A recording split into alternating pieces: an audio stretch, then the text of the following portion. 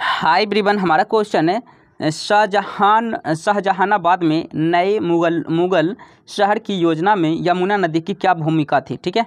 तो शाहजहानाबाद में नए मुगल शहर को बनाने की योजना में शाहजहां ने एक शाही विशेषाधिकार का प्रयोग किया।